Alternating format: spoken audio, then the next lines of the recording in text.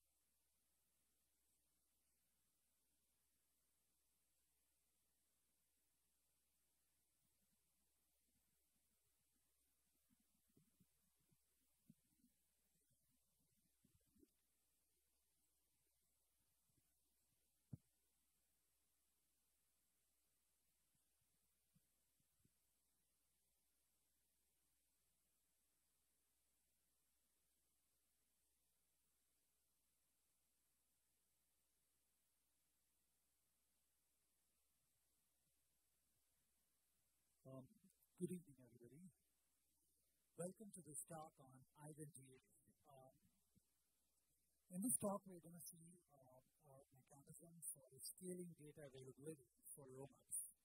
I'm Sreeram, uh, founder of Eigenlayer and associate professor at the University of Washington Seattle, where I run the UW Blockchain Research Lab. Um, before I get into the talk, I want to make sure to thank the rest of my team who uh, really helped develop and build this uh, algorithm.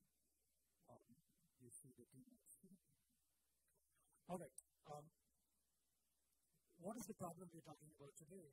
Um, if you look at the core scaling problem of blockchain, um, it's the following. So you have a bunch of nodes, and these nodes want to verify whether data is uh, executed correctly.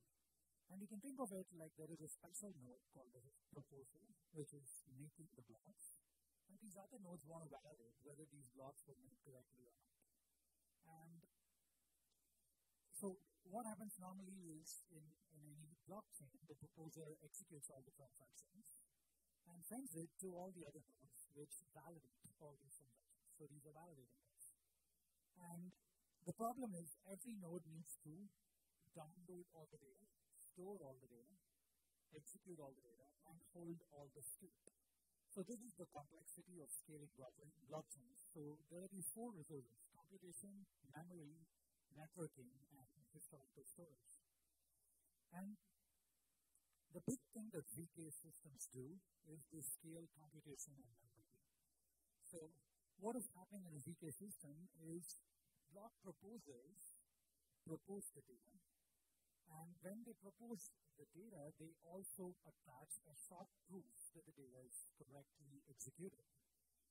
The other nodes in the network don't now have to re-execute the data. They only need to verify the short proof. So this is a massive scaling in both network, in both memory and computation. Every node doesn't need to store all data in, in their RAM, as well as every node doesn't need to execute the data fully. So that's the main thing that ZK systems do is they scale computation and uh, memory. However, even if you're building a ZK system, you need to make sure that the block that you're actually proposing as a proposal is available. And why is this important? Because once that proposal goes offline or doesn't want to continue proposing new blocks, we need to make sure that the rest of the network has data to actually um, continue the blockchain. So data availability is the uh, idea that we need to make sure that the data that the proposer is making ZK proofs out of is actually available.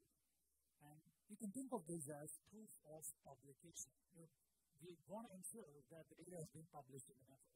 We want to do this with very high security. Why? Because if the data becomes unavailable, then nobody is able to continue on making blocks in the blockchain, and you're taking a trust assumption on the proposal, which uh, violated.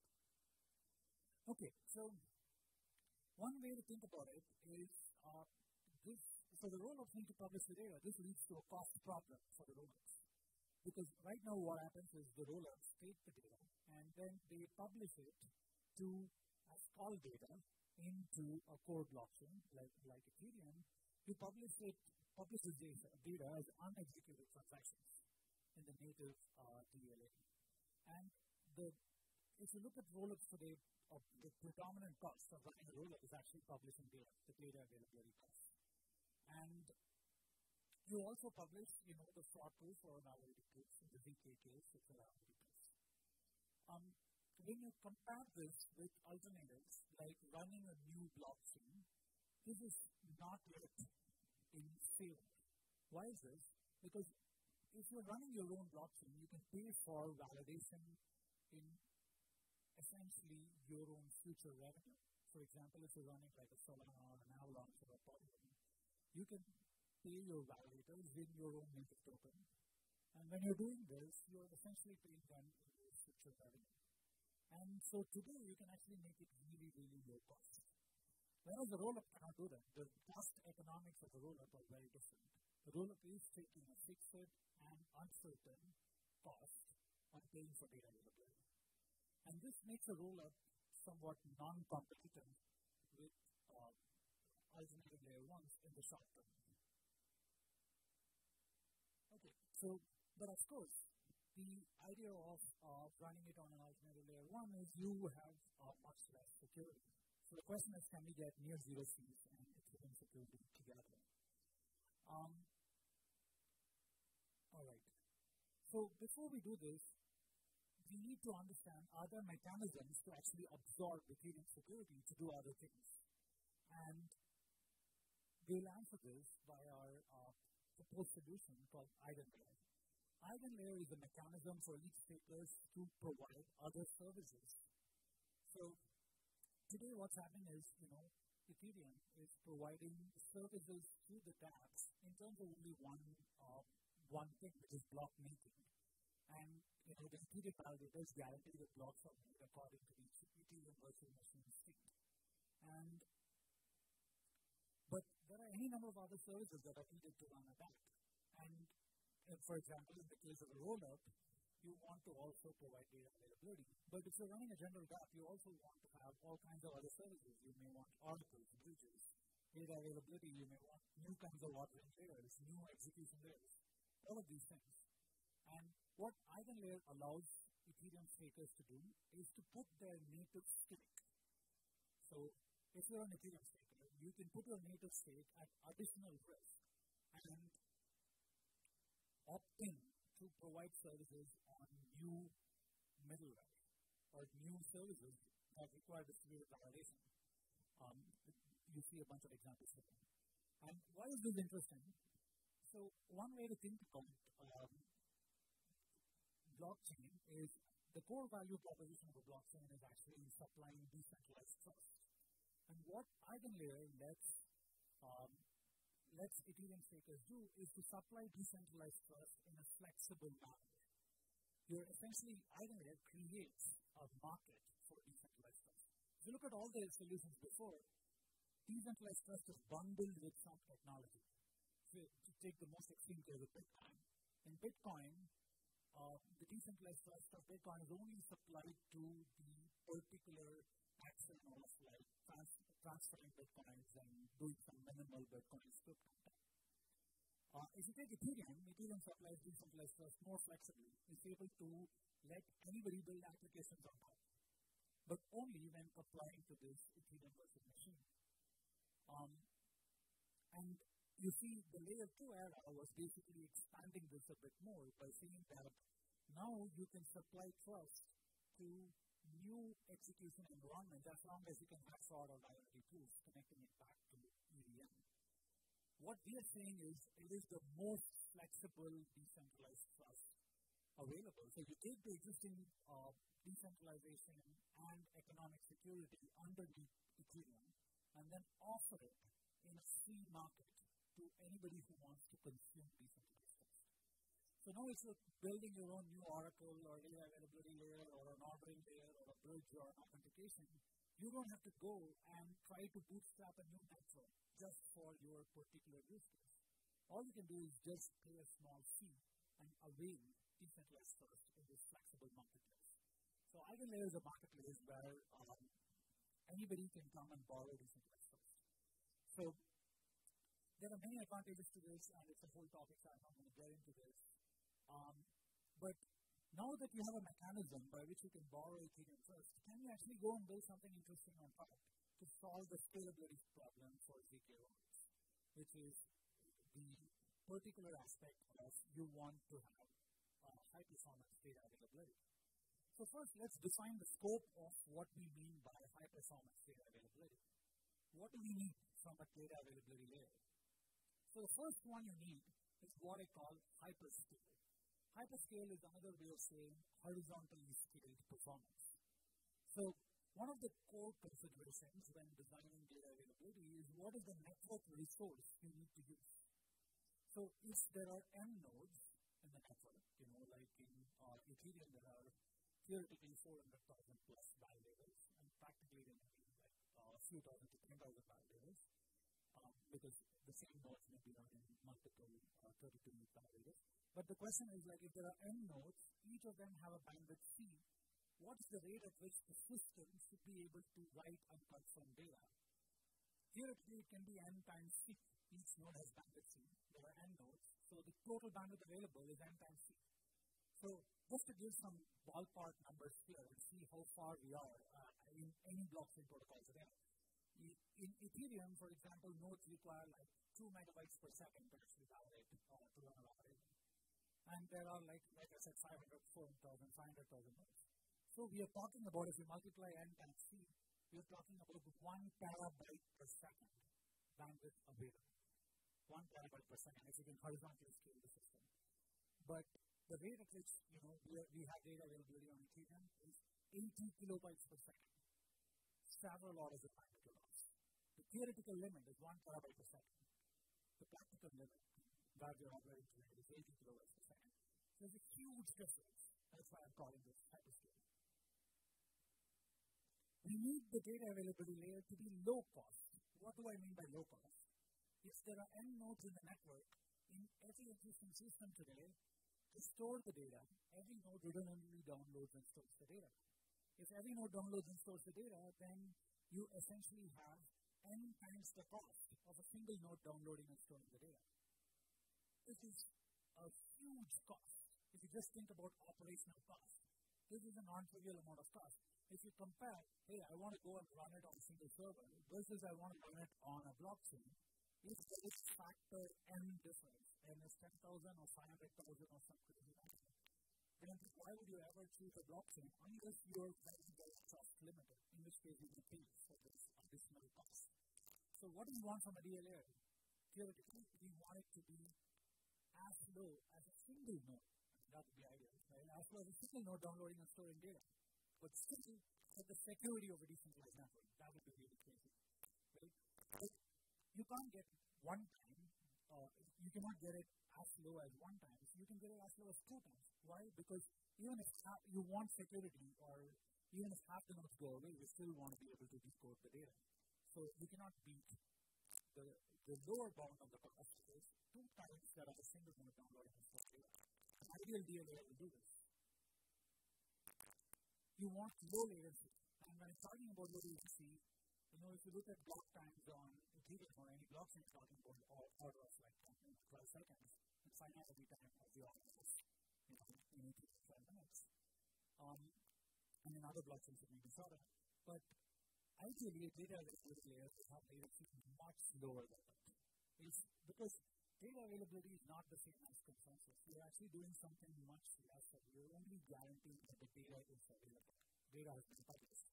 For example, if you send me a data and I'm telling you that it is available, somebody else is sending me data and I'm telling them that it is available. I don't have to relatively order these uh, availability statements because each statement stands on its own. Your data is available, their data is available. I don't have to create a totally ordered ledger.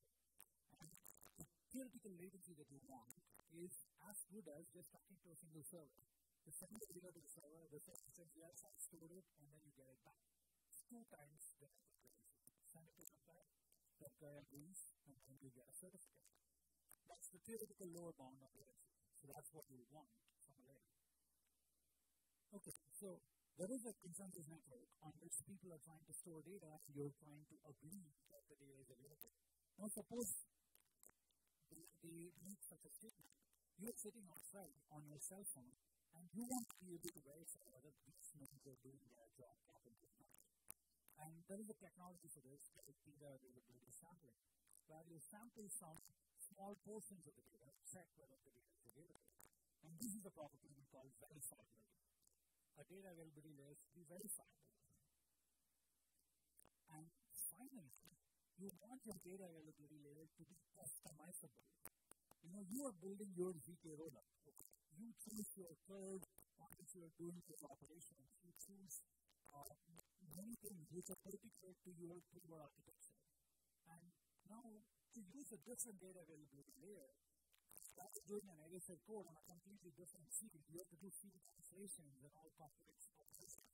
Instead, if you have a data availability layer, you can use the field of your choice. You can use the erasure code of your choice. You can use polynomial commitment of your choice. You have a massive degree.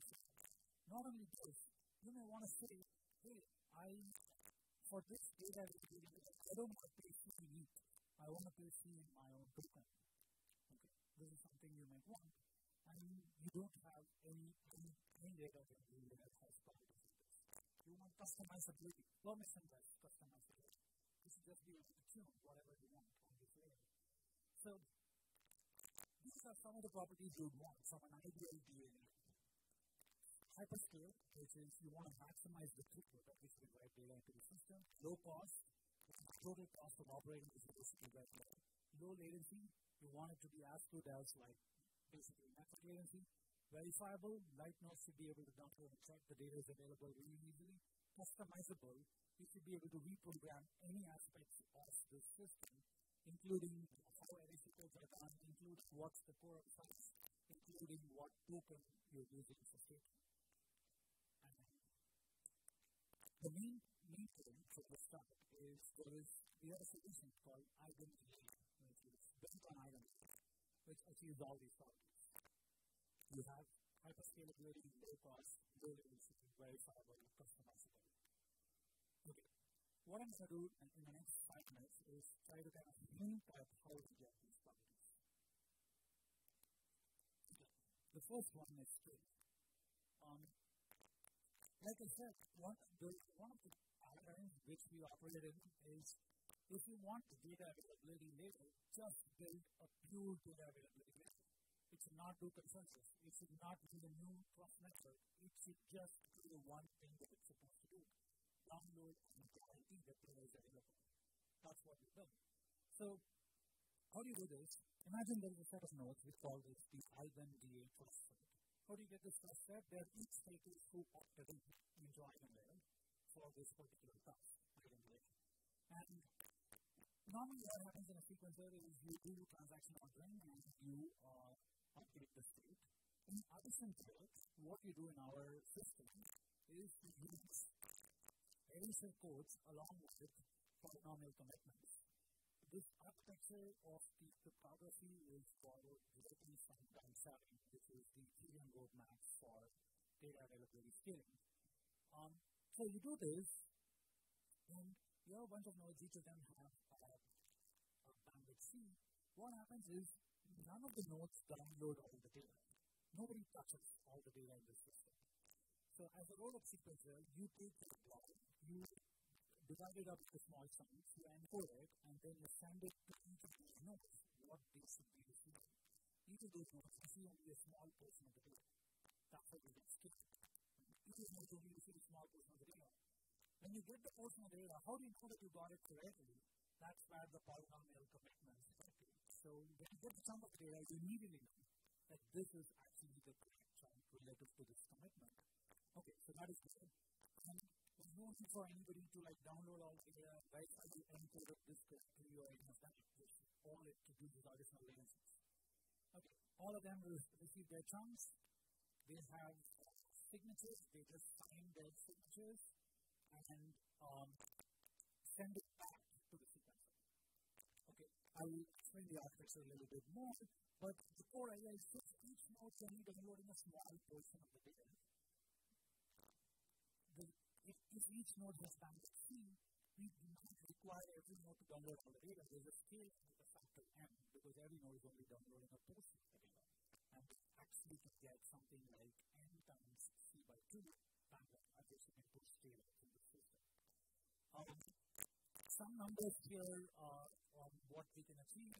You know, we're already at like 10 to 15 megabytes per second in our testnet.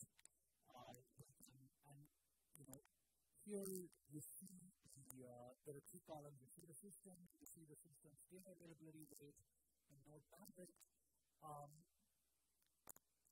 the, the, the main thing to focus on is the last line. Um, the eigen is able to achieve 10 megabytes per second, but each node only needs to small data. Very.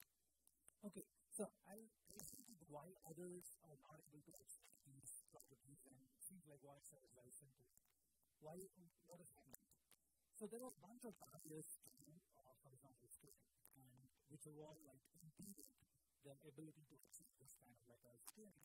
So the first one is you have to propagate a lot of data through a peer-to-peer. And lot of storage. Everyone needs to download the data, everybody needs to upload the data. So these things are incur um, massive energy. Eigenlayer is built without a peer-to-peer network. The eigenlayer nodes don't participate. The role of zero talking to the eigenlayer by cutting out the peer-to-peer network, you do not have any peer-to-peer penalty. This, could go from like factor 5 to 10. Um, there is a massive difference between upload bandwidth and download bandwidth of regular. Even if you're using AWS, you, you, you charge way more for upload than you are for download. So there is a huge difference. So in the normal mode, eigenlayer nodes don't have to upload data to the server. It's downloading it and sending a certificate. So no upload in normal mode. So that gets bandwidth again massively. And most DLAs are desi- co-designed with the consensus protocol. And by doing this, what happens is you have to propagate the block within the interblock duration. For example, if there is a block between uh, inside the interblock duration of 12 seconds, you can ensure that the traffic within a small fraction of the interblock duration. So to do that, you, you take a factor 10. I call it the heat of consensus penalty. You have to do everything in the heat of consensus. You to achieve consensus, and um, before that, to be propagated. And this takes another. You have, in most of the other systems, like even in what happens is the builder, is one node which is responsible for pushing the data to the network. And it's called the builder. And the builder has an upload bandwidth penalty. There's a single node which is uploading everything. In our system, that's not the case. You, you can have like 100 rollups, each of which are pushing data separately. And by decoupling the, uh, by making it distributed uploading of data, you actually get rid of the uh, builder upload bottleneck. Building this testing based on KZG polynomial commitments, and KZG polynomial commitments encoding rate, there is an encoding rate bottleneck because you have to compute some uh, over these. And so there, there's another bottleneck. Usually the single node is doing it, just to you cannot run this uh, algorithm a very pace. So what we allow in our system is distributed encoding because each node only the encoding of their block. And by decoupling all the different things to the right unit, you can actually scale. Uh, there is a theoretical barrier to scaling the system. So you, once you know everything, you can you can scale the system completely. So I mentioned low cost, it's clear because what's happening is everything is only downloading a small portion of the data. So the cost of actually storing data is very low. Um, so uh, just completing the picture here, every node receives their data chunks and they send their aggregated, you know, their signature back to the sequencer. The sequencer aggregates these signatures and then uploads them into Ethereum as a single aggregate signature. As far as Ethereum is concerned, there is just a single commitment that the data is available, not posted, transparently on Now, every node on with very little portion of the data, you actually have the entire network. The total file size is S, every node is to all the nodes download from the two size files and store them. Um, why do we get low latency? We get low latency because the sequencer directly sends the chunks to the IWA nodes and receives the certificates from them. And as long as you have a certificate, you can show anybody else that the data is available, even before that gets posted on a queue. So, if you show to offchain nodes that actually, you know, you have published the data, you can do it. And this is very helpful in a lot of scenarios. For example, imagine you run an market, and you need to know that uh, some kind of like a MEV node has the data corresponding to a head you publish it to IWA and you get a certificate from IWA and you can float it around, showing that you actually have published this data, and later if you want the nodes to be able to use it. So there's a whole bunch of things you can start building on top of it. Um, EigenDA also enables alignment of value as well as flexible tokens. What do we mean by that? Um, on EigenLayer, uh, what you can do is fundamentally like I was saying, you can actually pay in arbitrary tokens. And, you know, for example, the has its own set of uh, tokenomics. They can actually say that I'm paying like a 2%, 3% inflation of my token to the DA stakers. Because these EigenLayer stakers are ETH stakers who are restaking on EigenLayer. They've already gotten like a 7%, 8% APR on their system. And their operational costs are so minimal that even you compensate them a little bit and give them exposure to your ecosystem, then you get a value alignment between the stakers and your, uh, your total system. So, and what this does is, you know, and, and another interesting thing is, I can be EigenDA allows users to uh, allow rollups to reserve bandwidth. For example, you can reserve a bandwidth of, say, you know, one megabytes per second for your rollup on EigenDA.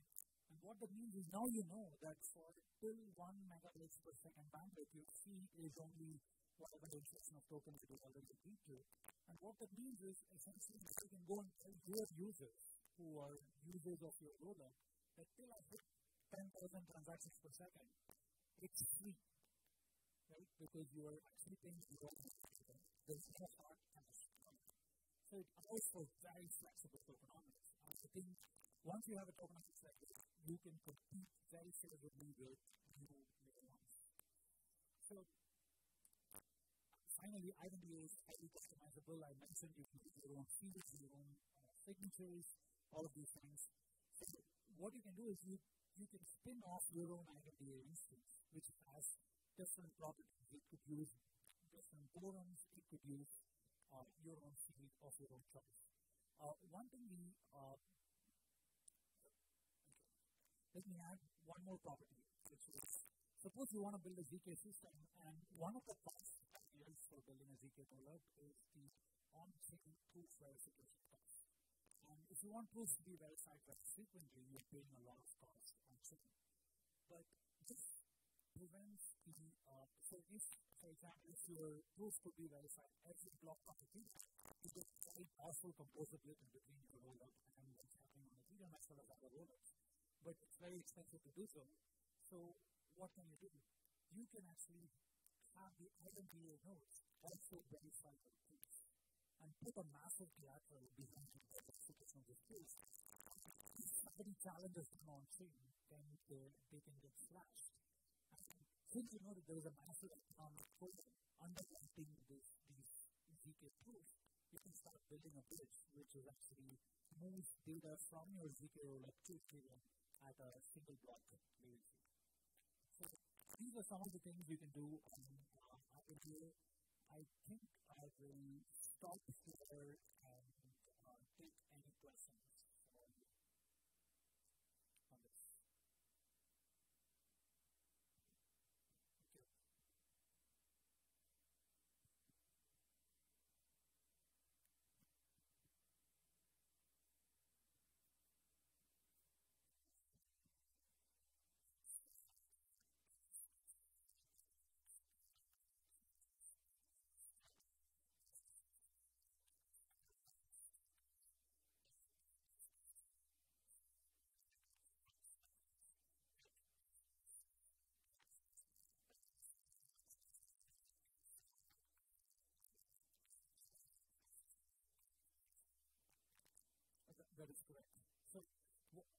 the goal of this taking particularly is if a lot of stake is stake on your particular service, then you can think of that service as kind of like a free market upgrade to Ethereum.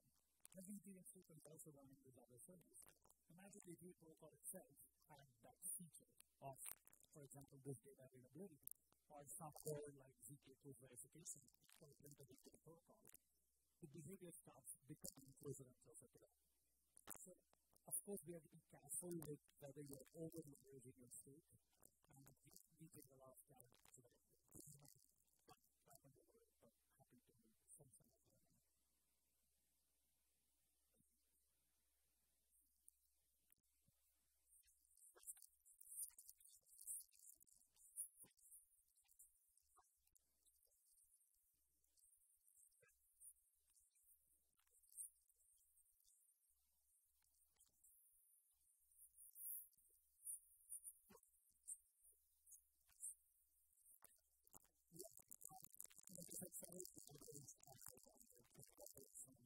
we are trying to contribute back to the extent that uh, that's useful. Um, but the fundamental parameters of optimization for the core data layer that is versus what we're are quite different. Uh, one of the core constraints, so just to give you a sense of numbers, the upcoming upgrade called EIP 4844 danksharding will get us to a throughput of 83 kilobytes per second. That's the data rate with